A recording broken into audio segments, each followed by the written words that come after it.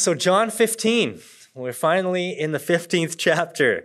And the title of today's message is Abiding and Not Striving. And this morning we come to one of the most precious passages of Scripture, a very personal and intimate and powerful section of John, where John is recording a conversation that none of the other Gospels recorded. We've seen that Jesus has said, Come to me. And now we're going to see Jesus say, Abide in me. And that's what we're diving into today. Now, before we get into verse 1, this section of John that we're in, John 13 through 17, is Jesus' farewell message, which began, you remember, in the upper room. And this is all happening on the night before the cross, as Jesus gave the disciples that famous Last Supper. And then the main theme of Jesus' long farewell teaching, as recorded by John, has been discipleship and intimacy with God. This message is not for the crowds, it's for his close disciples. How to be a disciple, how to walk in a close relationship with the Lord. Now, it's been a few weeks since we were last in John with the Christmas season, so I want to take a moment to remember the context before we get into 15, verse 1. In chapter 13, Jesus taught, he said to the disciples, Love one another the way I love. And, and he showed them how to serve one another by giving the example of even washing each other's feet. He then exhorted the disciples not to allow our hearts to be troubled. And you remember just quickly the promises from John 14 that Jesus gave us comfort for the troubled heart.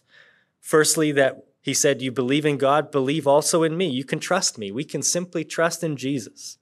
And then he said, He's going uh, to the Father's house. And in the Father's house of many mansions, He's going to prepare uh, a place for us. We have this hope of heaven. And of course, Jesus said, I am the way, the way to heaven, the way, the truth, and the life. Jesus, Jesus also taught that we can know the Father. He said, If you've seen me, you've seen the Father. How comforting is that? Also, that we can ask anything in His name. And when we ask according to His will and His character, He says He'll do it. What a wonderful privilege of prayer we have. He also said, I'll send you another helper, the indwelling Holy Spirit. And then he said there's this amazing intimate relationship where we have this connection with God that is so close. He said, As I'm in the Father, and you're in me, and I'm in you. What a blessing to have this relationship. Jesus said, if we love him and keep his commandments, the Father will show himself to us and show us his love. And then Jesus finished John 14 in verse 27, especially. He said, My peace I leave with you. Not the temporary peace that the world offers, but Jesus' very own supernatural peace. And what amazing gifts Jesus has given us as disciples, as followers of Jesus. And there are many reasons in this world that we could uh, live in fear or with a troubled heart, both in the world and in our own lives. There's reasons for trouble. However, there are greater reasons to experience this supernatural comfort and peace and presence of Jesus with us as we depend on him and as we grow in this intimate, close relationship with him. So now we come to chapter 15 and verse 1. Read along with me. I am the true vine. Or just read along. You don't have to say it out loud, but follow it along with me. I am the true vine, and my Father is the vine dresser. Every branch in me that doesn't bear fruit, he takes away, and every branch that bears fruit, he prunes, that it may bear more fruit. You are already clean because of the word which I have spoken to you. Abide in me, and I in you. As the branch cannot bear fruit of itself unless it abides in the vine, neither can you unless you abide in me. I am the vine, you are the branches. He who abides in me and I in him bears much fruit, for without me you can do nothing. And I think today, for sake of time, that's probably as far as we'll get with the uh, teaching, and we'll continue next week, of course. Now, verse 1 is interesting. He says, I am the true vine, and my father is the vine dresser. So here we see right away that phrase, I am. And that should trigger a memory for you if you've been studying through John. This is another one of Jesus' I am statements. This is number seven out of the seven great I am statements in the Gospel of John. And that, that phrase, firstly, the part that just says, I am, is invoking the name of God from Exodus 3, from the burning bush, when God said, I am that I am, Moses. And now Jesus is saying, I am. This is a claim of deity, that he is God. But then Jesus, with these seven different statements, fills in some color. It's like he's making a picture of what God is actually like so we can see it and understand it. He's the bread of life, He's the good shepherd. And now He's going to talk about being the true vine. And ultimately, Jesus is everything we need. Everything we need in life is found in Him. He says, I am what you need. Now, what exactly is a vine? Well, a vine is like the trunk or the central stem of a grape plant. And out of that grape plant stem, out of that vine, comes the branches, and out of the branches comes the fruit. And he's going to say, I'm the trunk, I'm the stem, I'm the vine, you're the branches, and I'm looking for fruit. And the Father is looking for fruit. And the Father's going to come and he's going to work in your life and cultivate you so that you can bring forth more fruit. But Jesus is really saying simply that he is in the center. He is the center of it all. We could say the obvious, simple meaning of I am the true vine is that Jesus is the source of life. He's the source of salvation. He's the source of fruit. He's the source, he's the center of everything. He's the vine. And so we want to remember that Jesus really is the center. Now, do you remember how John chapter 14 ended? Look at the very last verse of John 14, the very end. It says there, Arise let us go from here. So at this point in Jesus' farewell teaching, it seems that this is the moment where Jesus and the 11 disciples, remember Judas has left already, this is when they get up out of the upper room and they go out into the evening for a walk. And the other gospels don't record the whole conversation, but they do comment that after the Last Supper and, and this discussion, Judas had left, and then it says they had this conversation, and then Matthew 26, verse 30, it says, When they had sung a hymn, they went out to the Mount of Olives. So when you put those two verses together, it seems like Judas is gone, Jesus shares John 14, comfort for the troubled heart, and then they worship, they sing, they praise the Lord together, and they sing a hymn, probably a psalm from the Old Testament.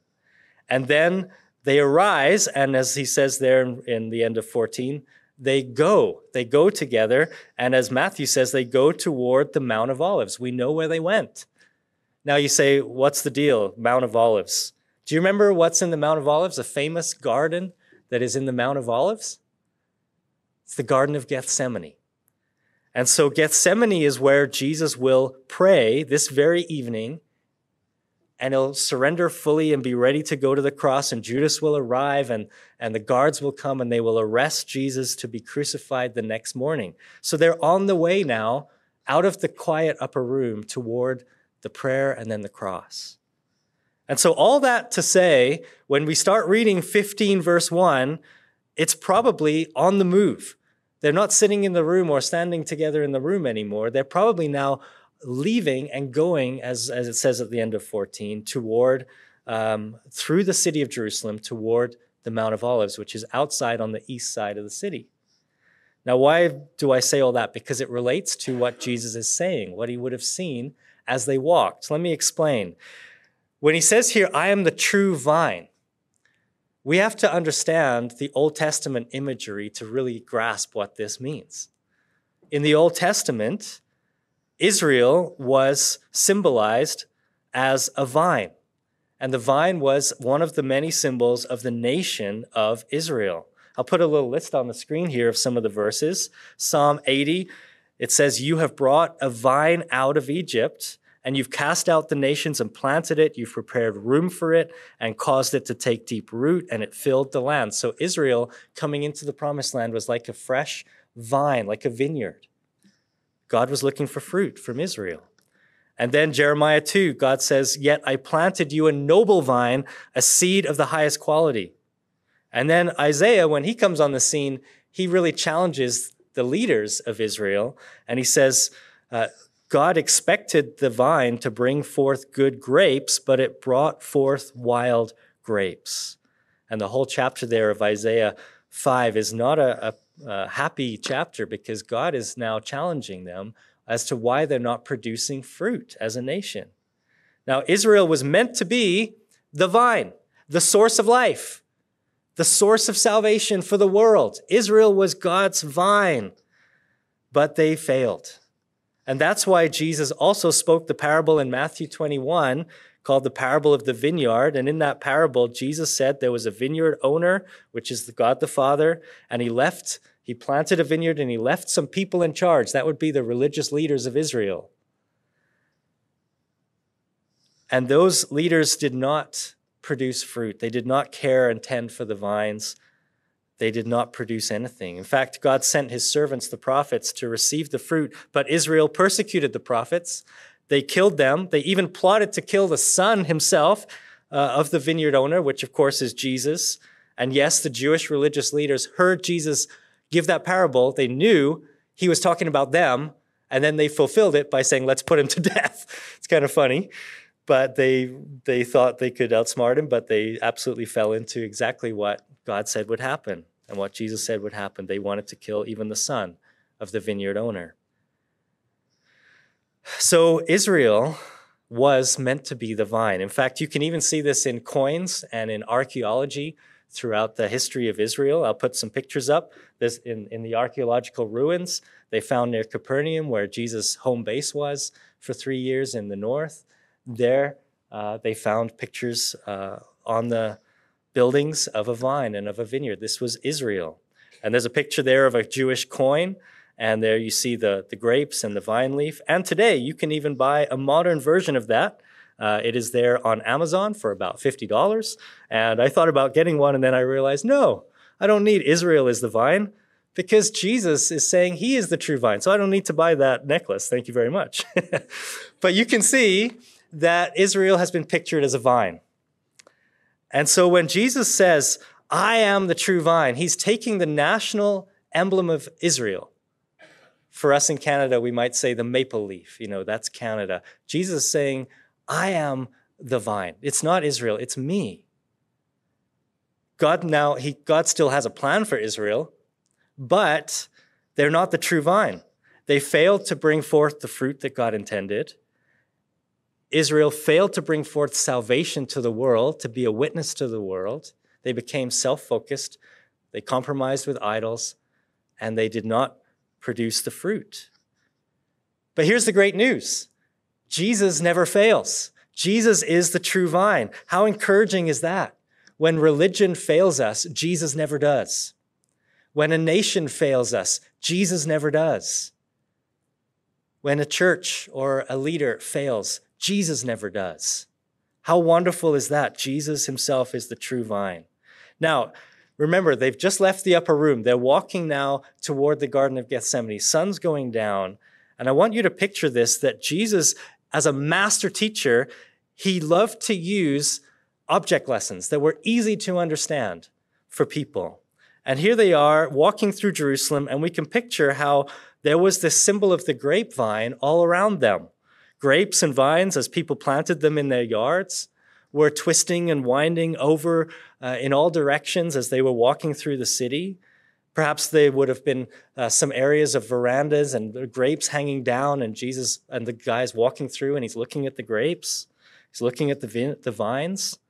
And of course, as they approached Gethsemane and, and the Mount of Olives, they would have passed the temple. And in the big Jewish temple, there was a giant golden symbol of Israel as a vine. And they would have probably seen this as Jesus then turned to the disciples and said, I am the true vine.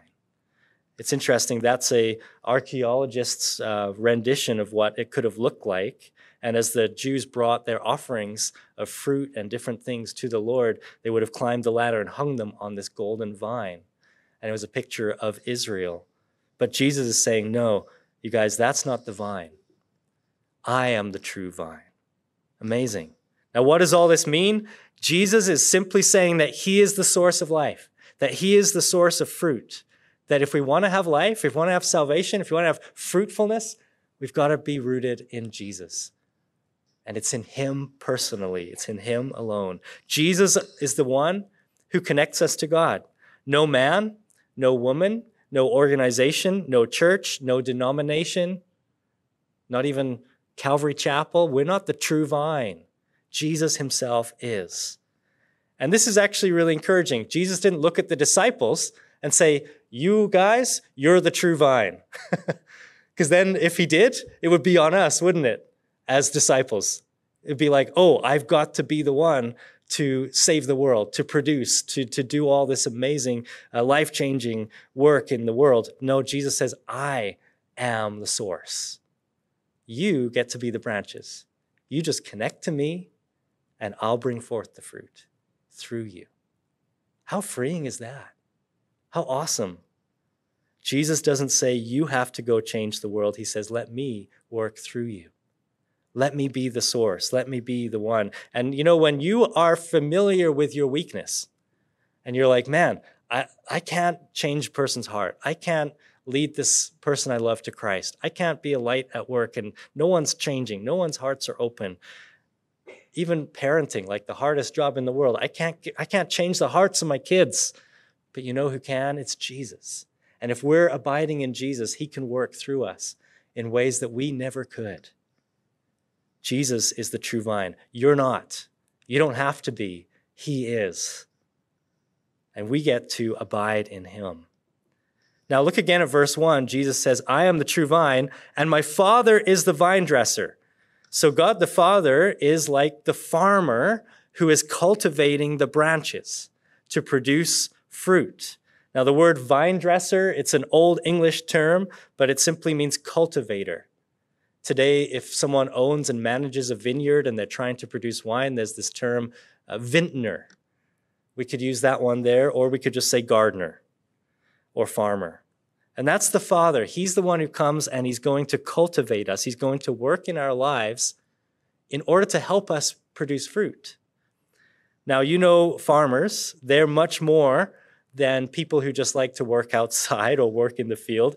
Farmers are great business people businessmen and businesswomen. They know how to uh, make production. And what they're looking for in their crops is not just a, a pretty field of crops. They're looking for fruit. They're looking for production. They're looking for more production, for efficiency and longevity in their production. And so, too, God, what's He looking for in your life? What does God want from you? It's fruit. It's fruit that lasts. It's fruit that grows, it's fruit that overflows your life. And the Father is at work today in your life to cultivate you so that you can produce more fruit. Now, look at verse 2 and 3, how that works. Jesus said, Every branch in me that doesn't bear fruit, he takes away, and every branch that bears fruit, he prunes that it may bear more fruit. So here you see a contrast between the branches that are bearing fruit and the branches that are not bearing fruit. And it's true, we will either be fruitful or we will not be bearing fruit. But verse 3 goes on and he says, You are already clean because of the word which I have spoken to you. So even verse 2 is modified by verse 3 to say this is all talking about believers. This is talking about genuine believers. If you're a branch, who's coming out of the vine. You've been born again, you're saved. And some of those branches are not bearing fruit, and some of them are. And it's a word for believers. Now, when it says there, every branch in me that doesn't bear fruit, he takes away, that can sound a little bit alarming. Like if I'm having a, a really bad season in my life, does God just ditch me? And that's actually not what is being said here by the Lord. The word takes away in the Greek, airo. You might even have a note in your margin. It could also be translated to lift up. He lifts them up. And that word to lift up is the Greek word that's used uh, when Jesus said to the paralytic, Take up your mat and walk. When Jesus said to the, or when the 5,000 and the multitudes, and he fed them all, and it says the disciples took up the baskets, lifted them up. And so too, if you're a believer and you're having a hard time with fruit, the, the Father comes and he lifts you up. Now, here's the picture. And this was uh, described by a Christian who's a grape farmer. And I love how he said it. He said that when you have a, a vineyard and you have these grapevines, when a new branch comes out, it will have this tendency to trail down and grow along the ground. And they can't bear fruit on the ground. Those branches are not bearing fruit because they get coated in dust, they get coated in dirt, and when it rains, they get all muddy and mildew sets in. And so those branches are genuine branches, but they become sick and effectively useless on the ground. And so, what should a farmer do? Should he just cut them off and throw them away? No. What he does, he says these are too valuable to throw away. He's going to lift them up. He's going to go there and literally clean them. What they would do is walk through, and they still do this today. They walk through the vineyard with a bucket of water, and they look for these branches that are growing on the ground, and they clean them. They wash them in the morning so that the, the sun will come and dry those leaves. But then they also lift them up and tie them onto a trellis or a support beam. Wrap them firmly but, but, but gently so that those branches will no longer be full of dirt and mildew, but they will become healthy and bear more fruit, or actually start to bear fruit. And that's the picture that Jesus is saying. First of all, if you are a branch in Christ and you're really saved, you've really trusted in Him to be your Savior, You've put your faith in Jesus Christ, not your works. You're saved. But there are times where there's a struggle, where the dirt and, and the life, we're just down in the dirt. We're, we're covered over again with the things of this world.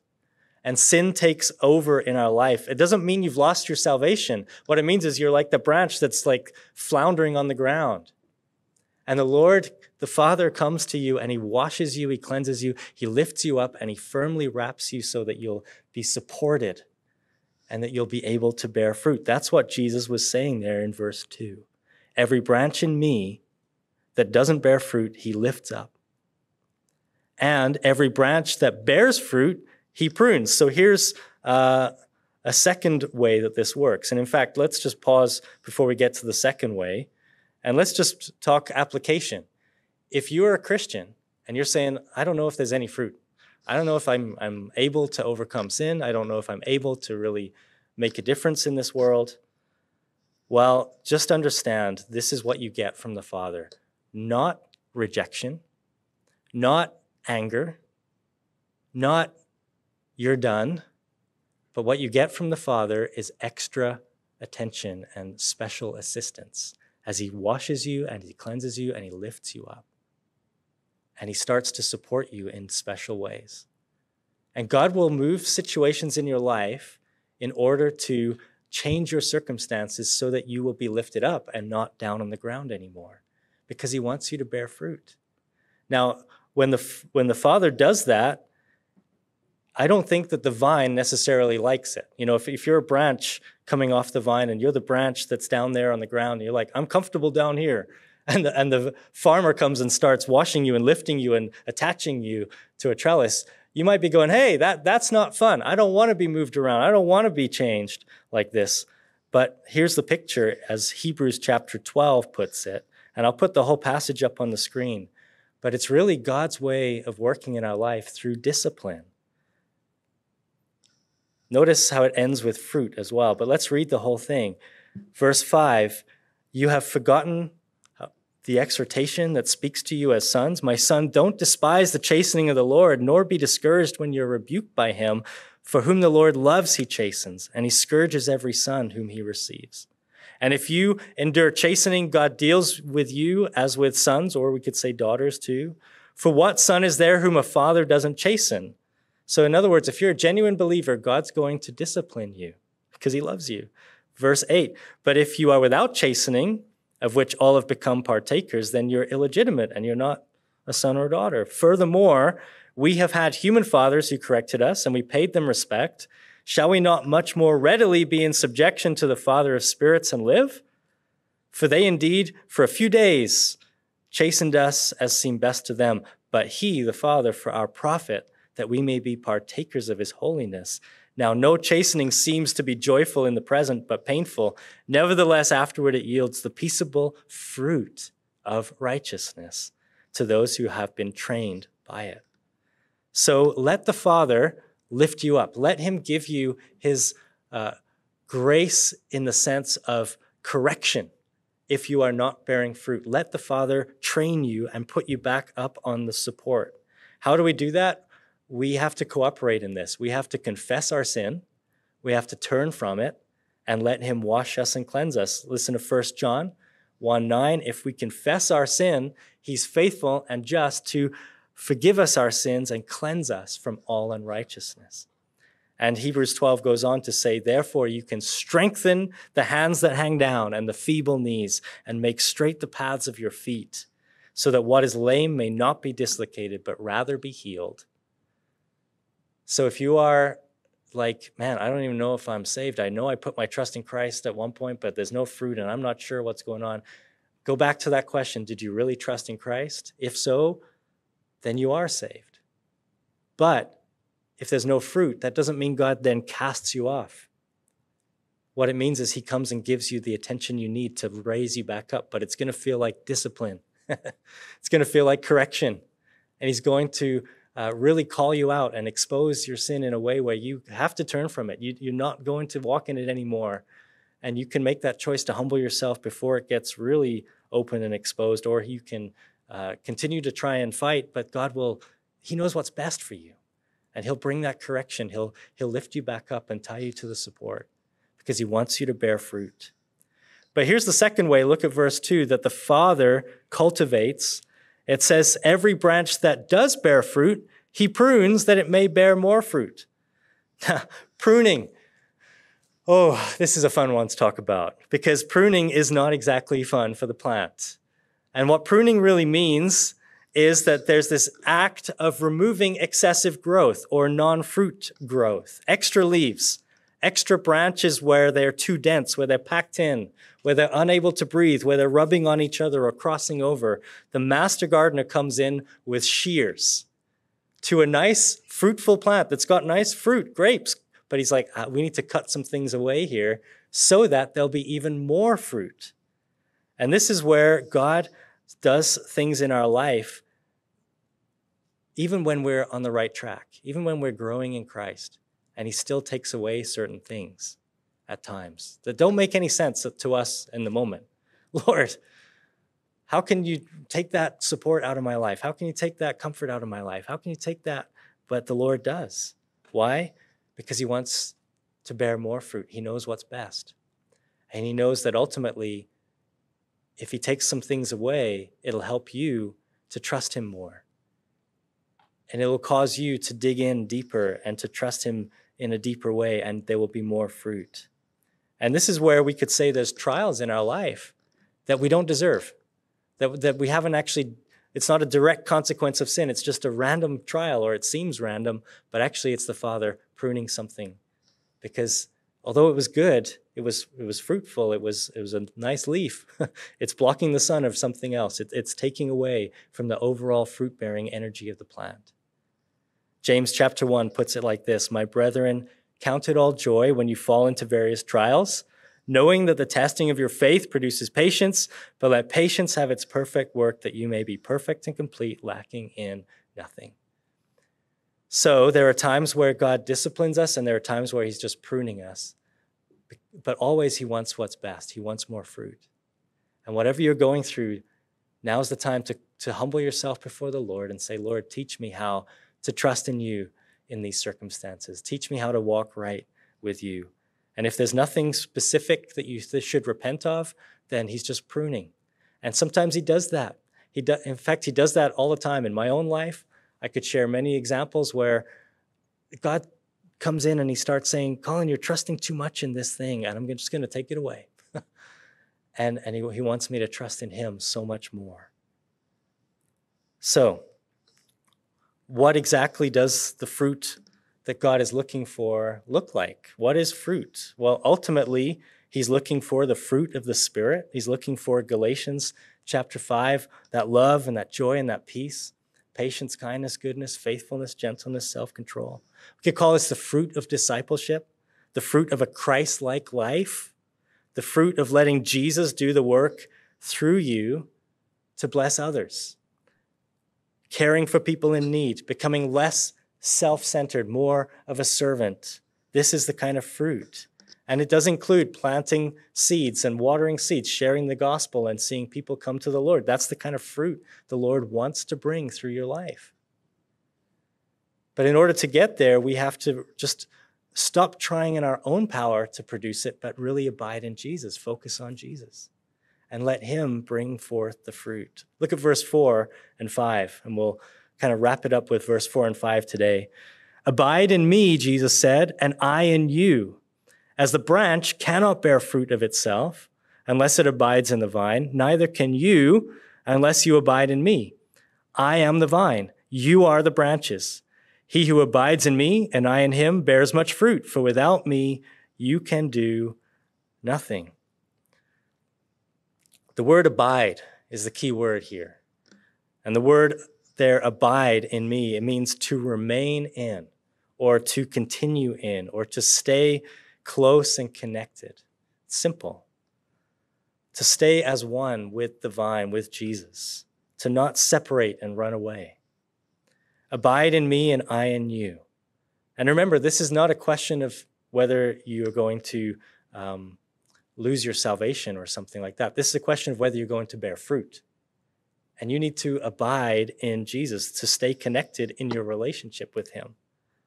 And Jesus will do His part when he says, Abide in me and I in you. The I in you, he'll do it. The question is, are you going to do your part? Are you going to abide in him? Are you going to remain in him and stay connected, to keep on believing, to keep on trusting in every season, in every situation, to say, Lord, I'm putting less of me and more of you in the center of my life? And if we stay connected and we stay entwined to Jesus, then what will happen? Fruit will come fruit that we don't even realize is necessarily coming, fruit that we don't even try and bring, but the Lord brings forth fruit through us. We could put it like this branches cannot bear fruit by separating from the vine or by striving in their own power, but simply by abiding in the vine. And now put yourself in that statement. You cannot bear fruit by separating from the Lord or striving in your own power, but simply by abiding in Him. And so we can picture what abiding looks like. It's really simple. It's just the branch sitting in the vine and staying there. And the fruit is it's coming. It's it'll be there. It's not instant. It takes time, but if we remain abiding in Jesus, just connected, just sitting there in him, close with him, putting him first in our life, focusing on him and not ourselves, not the things of the world, but on Jesus you see, this is not about do more work. This is about stay close to Jesus.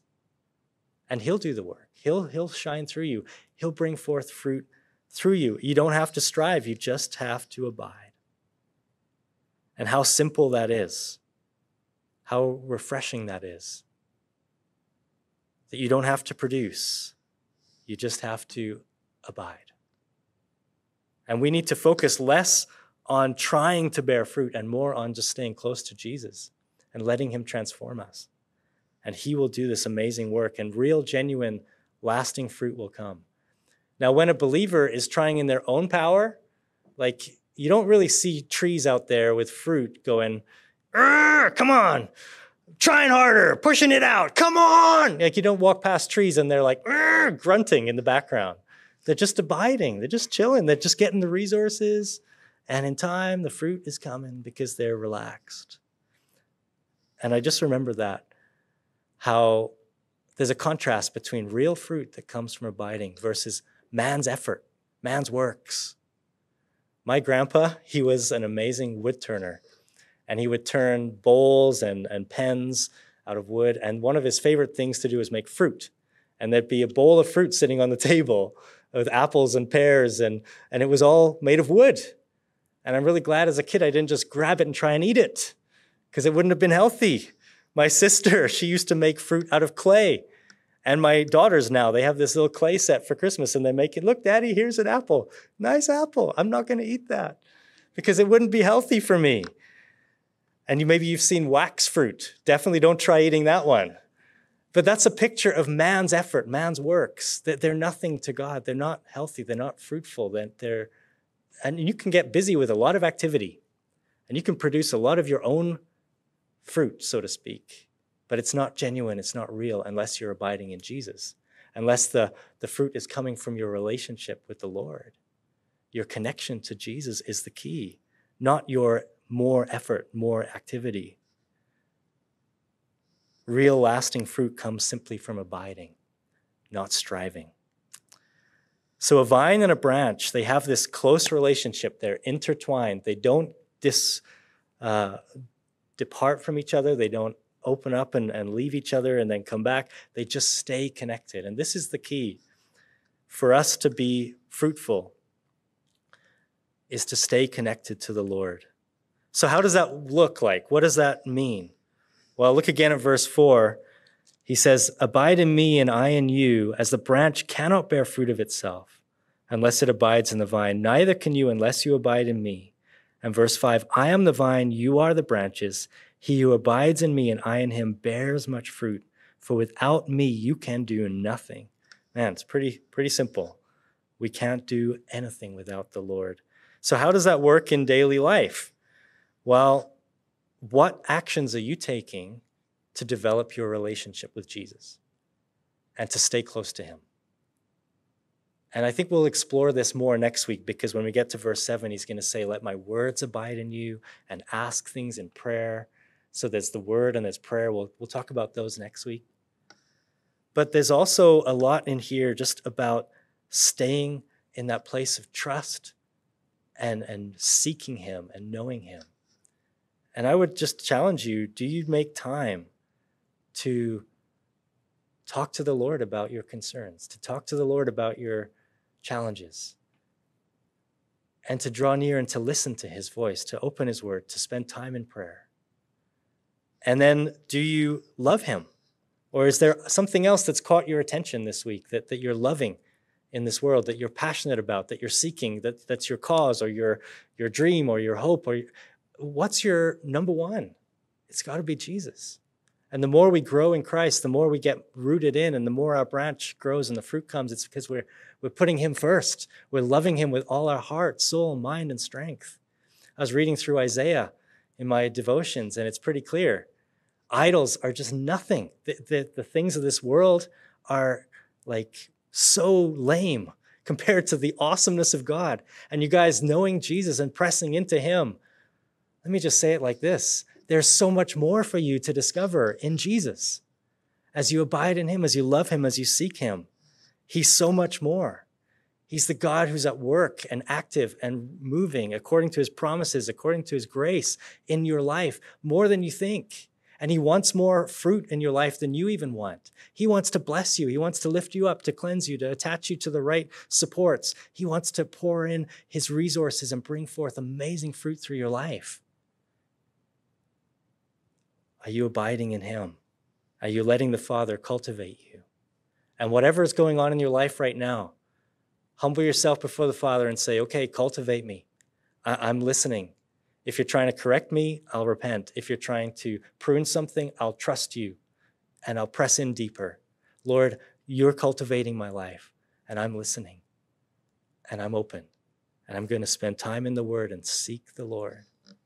And let the things of this world grow strangely dim because they're nothing compared to the beauty and the glory of Jesus Christ. And He gets to work through you. Stop disconnecting Stay close.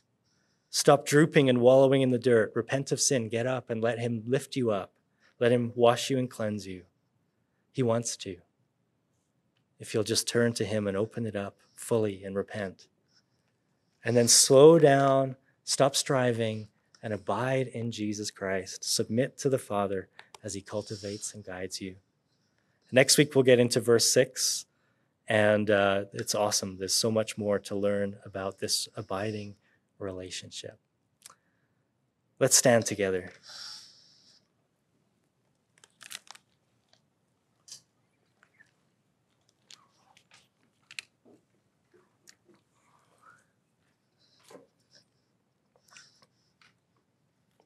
Maybe as you're listening to this today, you would say you've never trusted in Jesus as your Savior.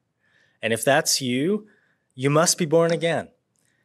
If you don't put your trust in Christ, you'll never know God, you'll have no relationship with Him, and you can't go to heaven. Because we're lost and we're dead in our sins.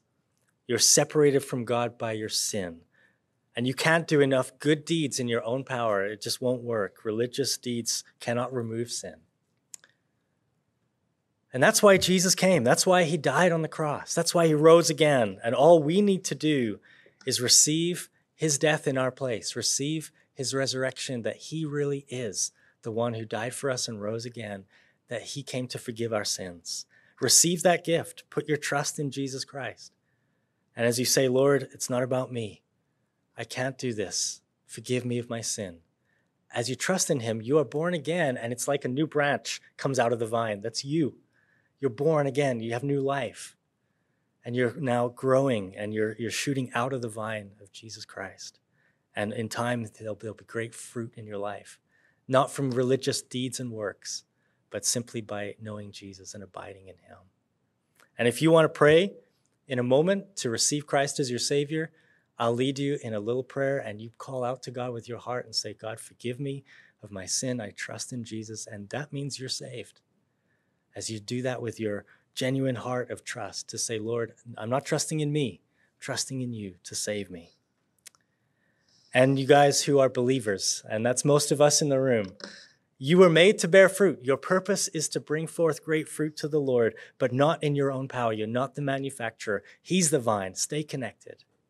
And if there's some way that you've been wallowing in the dirt, let the Lord lift you up and cleanse you. If there's some way that you have been disconnected, let the Lord really root you back in and connect you deep so that you can love Jesus first and walk with him and let him do the transforming work and let the Father cultivate you through the circumstances of life. Whether he's correcting you or whether he's pruning you, he wants more fruit. So, Father, today we thank you for the clarity of your word. We thank you for your love for us, that you want great fruit in our life. And so we ask, Lord, for your help. And as believers, we just pray, Lord, help us to abide in you. Help us to stop doing this in our own power, in our own flesh. But Lord, really to put you first, to spend time with you, to trust you. And Lord, to open up even the deepest parts of our life to you so that you can correct and heal and restore and re- rewire us so that we can be men and women of God who are like a branch bearing great fruit and Lord, if you're cultivating us in some way, correcting us or pruning us, we're open to that. And we ask you to show us your favor, your grace, and your love, even in these times that may feel difficult and hard. And Lord, we know that you have a greater fruit in mind. And so we trust you today. Lord, we love you. There's more to discover in you, and we want that. And Lord, we pray today for anyone here who's not yet saved. And if that's you, you can call out to the Lord right now and say, God, I know that I'm a sinner. God, forgive me. I put my trust in Jesus to save me. Lord, thank you for dying on the cross. Thank you for rising again. And Lord, please forgive me of all my sin. Come and live in my life and be my Savior and my Lord, and help me to have new life in you now and abide in you for the rest of my life. In Jesus' name. Amen.